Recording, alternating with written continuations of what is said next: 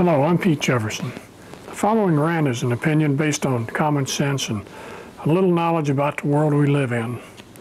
I would like to pass along some of that common sense to the big oil companies and the politicians who are on their payrolls, but know that it would only fall on deaf ears of the people who can't see past the next election or profit reporting period.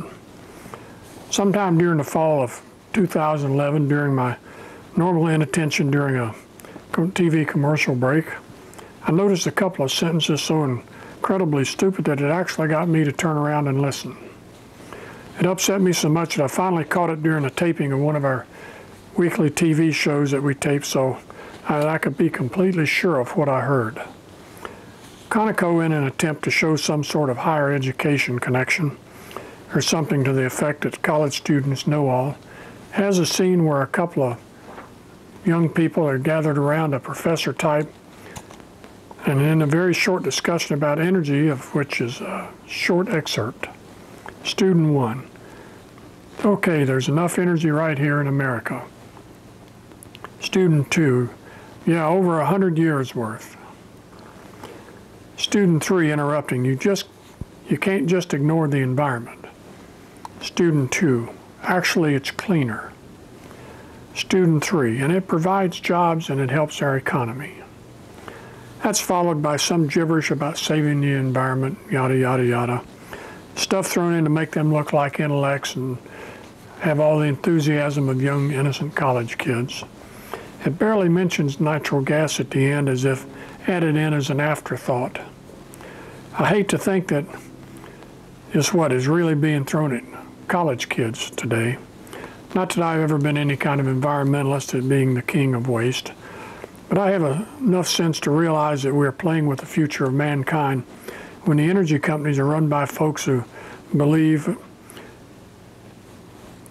they only need to convince us that we're going to be okay because we have a whole hundred years worth of energy. And maybe, just maybe they're talking about natural gas, which has taken billions of years to form. If we run out of gas at the 100 year mark, are we going to start on trees that are still standing? That would be good for another 10 years, if that long. Then what? Coal? Turn West Virginia into a toxic waste dump in pretty quick order. Wow, what alternatives? My gut feeling is this ad serves as some sort of preparatory PR work to prepare us for bigger messes they're going to get us into such as fracking for natural gas. Google the word fracking for some eye opening and somewhat scary information. That's F R A C K I N G. Human growth has demanded so much energy that we're in dire straits if you think out more than 20 or 30 years of more of this growth. The world has a balance of resources that has kept it going over the millions of years in, of existence we come along and start ripping out oil and gas from the ground at faster and faster rates. Instead of pulling coal out of mines now, we are beginning to just start at the top and shave the mountain out of existence. The beautiful landscape of West Virginia and other states is being ruined by this new method of mining coal.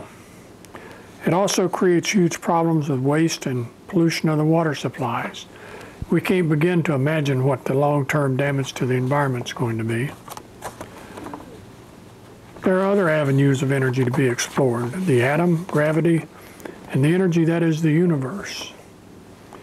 The universe is a ball of energy. It wouldn't stay together to create all of the billions of stars and galaxies without having an incredible amount of power. We don't know how to measure it or tap into it yet, although I Suspect there are a few brilliant people looking into it. Look for my other energy video named Earth's Energy out on my YouTube channel, Pete Jefferson 2. One word, no space. For more thoughts along these lines. My purpose here is to hopefully make you aware of the lack of foresight of the people who have the power, no pun intended, to rule our lives by controlling the energy distribution and the money of the nation and perhaps the world. Anyone who honestly believes we can go to the bank on 100 years worth of gas is really sick. That isn't a blink of the eye of human existence.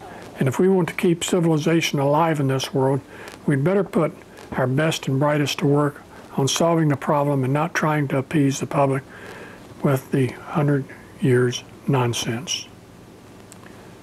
That's just the way I feel. Thanks for listening.